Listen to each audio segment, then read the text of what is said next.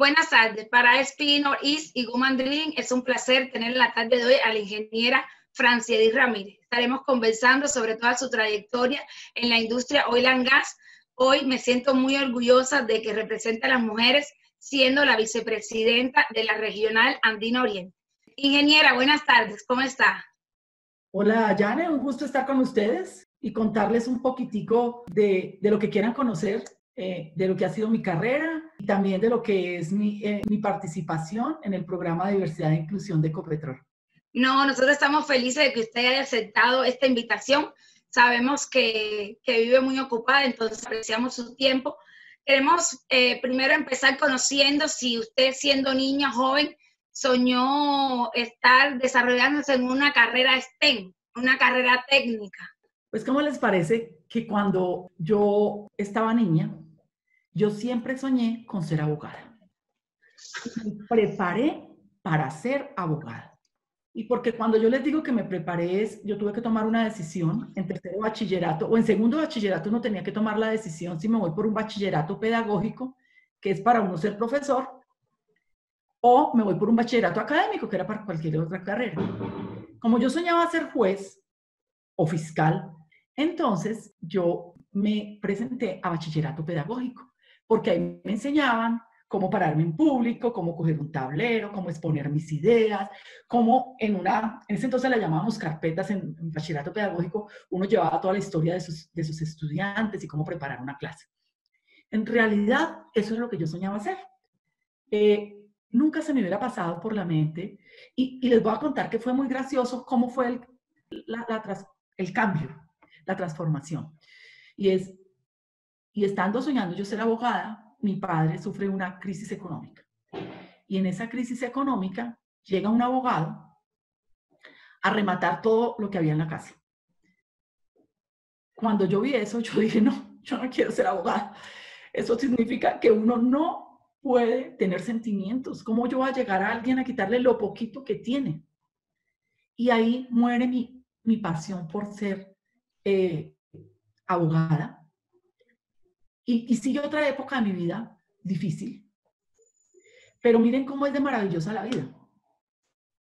Porque eso que yo había hecho para prepararme para ser abogada, para poderme parar en una, ante un fiscal o siendo una jueza, me sirvió porque ese fue mi primer empleo. Y empecé a trabajar como maestra. Y gracias a esa carrera de maestra o a ese arrancar de maestra, pude costearme los estudios de lo que podía estudiar para poder trabajar y salir con mi familia adelante, que fue una licenciatura, porque yo trabajaba y estudiaba. Sin embargo, en todo ese devenir, yo sentía que algo me faltaba, que eso no era lo mío, que me iba demasiado bien sin esforzarme mucho. Y un día cualquiera me encontré con uno de mis profesores de bachillerato y le dije, no, que estaba mirando qué hacer. Y él me dijo, siempre te hemos visto como una ingeniera. En el colegio siempre te vimos como una ingeniera. Yo me quedé como sorprendida. Me dijo, tú eres buena en matemáticas, en física, en química. No te vemos en otra cosa distinta. Y ahí empezó. Ahí me empezaron a mí las carreras estén a decir, oye, sí, ¿verdad? Yo, yo, soy buena en eso. ¿Sí? Y entonces, para que ¿Y cómo termino qué? ¿Estudiando petróleo? No. Ajá, ¿y cómo terminaste entonces? Porque en STEM hay muchas carreras. Está todo lo de ciencia, lo de tecnología, bueno, todas las ingenierías, las matemáticas. ¿Cómo te decides por petróleo, siendo también como una industria súper machista y digamos que un poco dominada por hombres? Entonces, miren, tan sencillo. Yo soy de un pueblito del Valle del Cauca, que queda muy cerquita a Armenia, se llama Caicedonia Valle. Y ahí hablar de petróleo, el petróleo no estaba en lo que normalmente se hacía, porque generalmente se cultiva plátano y café. Y yo trabajo allí de maestra durante muchos años y, estudiaba en la Universidad del Quindío, que me quedaba muy cercana. Pero mi papá, ¿se acuerdan que les conté que ya tenía una quiebra económica? Entonces mi papá se había ido para Neiva, para que ustedes vean cómo la vida hay veces confabula. Mi papá se fue para Neiva y un día yo llamé a mi papá después de escuchar a mi profesor. Llamé a mi papá y le dije, papá, ya llevaba yo seis años, siete años de haber salido de bachillerato. había, estaba estudiando mi carrera de licenciatura en educación. Y le digo, papá, vaya a la universidad y pregunta cuántas, qué ingenierías hay. Y mi papá efectivamente se fue a una universidad pública, yo siempre estoy en público, siempre, y fue a la universidad pública y preguntó, oye, ¿qué cuántas ingenierías hay? Y le dijeron, hay dos ingenierías, ingeniería agrícola e ingeniería de petróleos. Entonces, si yo la, la, pregunta que hice que mi papá le hiciera, mi papá se va para la oficina de registro y hace la segunda pregunta que le pedí que hiciera. Papá, pregunte cuál es la más difícil. Yo estudié petróleos porque la señora del registro dijo que petróleos era más difícil. Y recuérdense que yo les estaba contando que en mi carrera anterior, pues yo sin mucho esforzarme me iba muy bien. Entonces yo tenía esa, como esa necesidad de hacer algo que me, me retara. retara. Y por eso yo termino siendo ingeniera de petróleos. Lo decidieron dos personas, una mi profesor que me dijo ingeniería, otro la señora de la universidad, la, unidad, la señora que trabaja en registro de la universidad, que piensa que petróleos, o pensó en su momento que petróleos era más difícil que, que agrícola, y yo arranco allí. Y por eso yo siempre les voy a decir a ustedes, o a cualquier persona, que lo más importante es amar lo que uno hace, más que hacer lo que uno quiere. Cuando uno ama lo que uno hace, lo disfruta. Y tal vez ahorita lo hablábamos con Janet antes de arrancar con la charla. Y cuando uno ama eso, pues eso lo hace a uno eh, hacer, retarse, hacerlo mejor. Entonces, así es que yo termino estudiando petróleos por una coincidencias de la vida. Bueno, ahora me surge como una duda. ¿Cómo fue así por una coincidencia de dos personas que, que aparecieron en tu vida en ese momento? sí le cogiste amor a la carrera, ¿qué sentiste cuando empezaste a ver las materias de petróleo? ¿Sentiste que sí era el reto que estabas buscando? Cuéntanos un poquito de tu vida estudiantil y de enfrentarte a todas esas matemáticas, a la, a la ingeniería en la parte de fluido, la mecánica. Pues miren que les voy a contar varias cosas.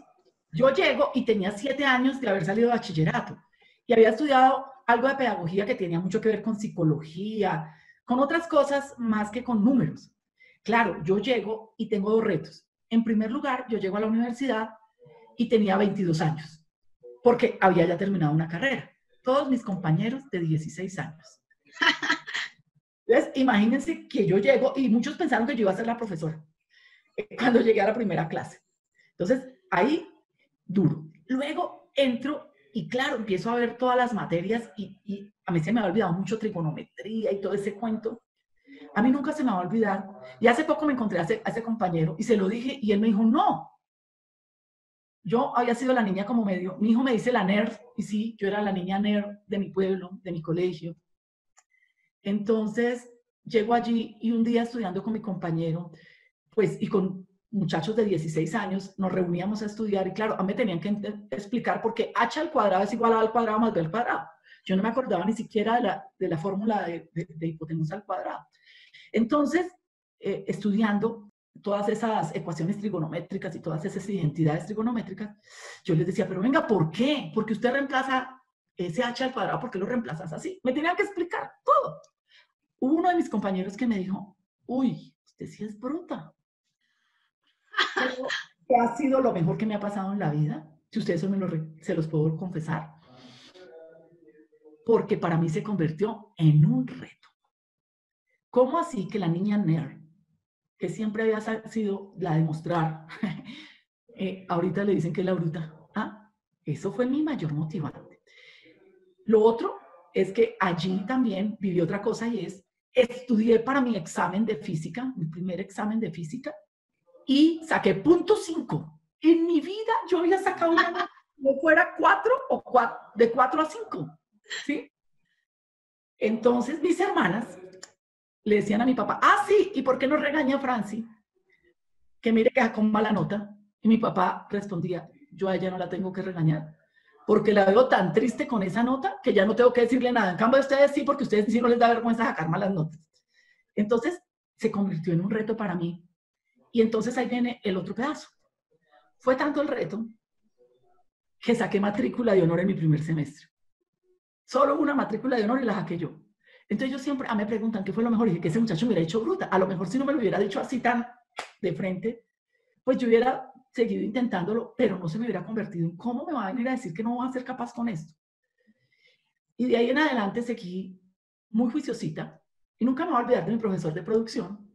Yo tengo una muy buena amiga, mi mejor amiga de la universidad, trabaja en Ecopetróleo en el área de yacimientos.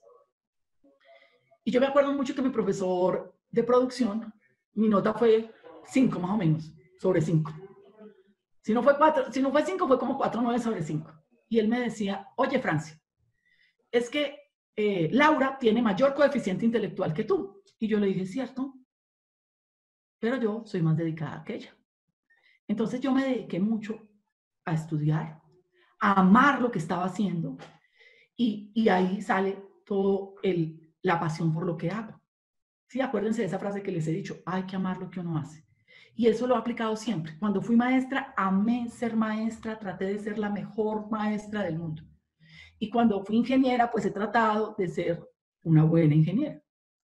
Bueno, y cuando estaba estudiando eh, esa carrera, ya contándonos todo lo que hizo, el amor que le puso, imaginó que iba a, a, llegar a ser una líder de una de las empresas más grandes en Colombia y también con reconocimiento mundial, que iba a tener ese, ese puesto que hoy, que hoy desempeña.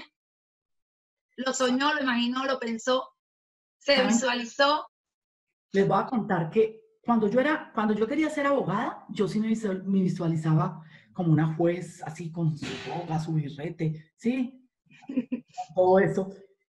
Cuando, cuando me fui ya eh, metiendo en petróleo, yo no soñaba tanto, porque yo salí en una época que estaba complicado también conseguir empleo por el, porque estábamos en una de las crisis. Yo salí en 1994 de la universidad y estaba un poco complicado. Entonces, digamos que ahí el reto más difícil era conseguir empleo, más que uno que pensara que fuera a, a sobresalir mucho, uno era, venga, yo quisiera tener empleo. Eh, entonces, yo no me visualizaba en ese momento eh, como que fuera a, a, tener un cargo de liderazgo. y pues creo que lo otro, como yo venía de un pueblo, pues yo con lo que más soñaba, póngale cuidado, venía de un pueblo cafetero.